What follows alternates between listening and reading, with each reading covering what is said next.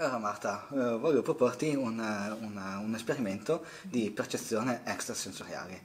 E per fare questo esperimento ho- ho qui- abbiamo qui delle carte e, e sono due mazzetti di carte uguali. Se vuoi prendere anche tu il tuo, guardiamo. C'è un cerchio, c'è una croce, una, delle onde, ecco, un quadrato e una, e una stella. Perfetto.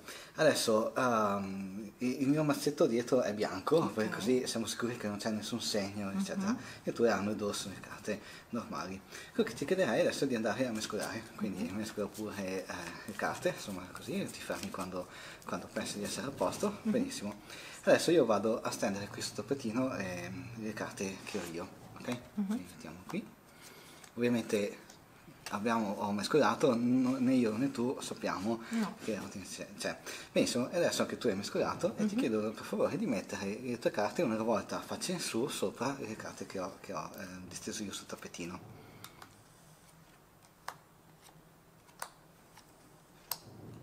Benissimo, quindi ah, ok, tu hai avuto una sorta di percezione, hai sentito qualcosa quando, quando hai messo... eh, Un messo- brivido. hai sentito una sorta di brivido, perfetto. Ehm, ad esempio, ah, guarda, io adesso sento qui, io vedo qua che c'è una stella. Eh, la stella, eh, insomma, fa, ci ricorda l'universo, no? Quasi come mm, l'infinito. Così come infinito è l'ondeggiare del mare. E l'ondeggiare del mare ci è ricordato da, questo, eh, da queste onde qui. Quindi queste, mm, sì, io sento queste carte qui e metto un attimo qui. Ti chiederei di tenere la mano sopra che non, che, insomma, non vengono ulteriormente toccate. Poi, sempre parlando di infinito, beh, anche un cerchio. Eh, anche un cerchio è, è, come dire, in qualche modo, ehm, diciamo, se noi pensiamo di metterci su un punto e andare attorno, è sempre, sempre questo diciamo, movimento infinito.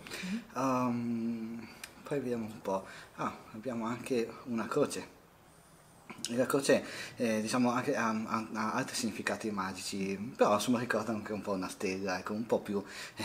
e poi alla fine abbiamo il quadrato. Il quadrato si lega all'infinito del cerchio, è la cosiddetta qua- quadratura del cerchio. Ecco. Allora vado a- ad aggiungere queste carte le tue, perfetto.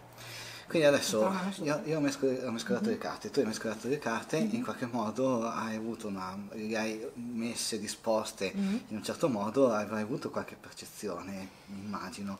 Certo. Certo. allora, proviamo a fare così. Adesso prendi poi il mazzetto. E allora, quelle bianche sono le mie, sono a faccia in giù. Ti chiedo per favore di mettere una mia carta a faccia in su e vedere se corrisponde alla tua che vede a faccia in giù. E vediamo il cerchio. Vediamo la prossima.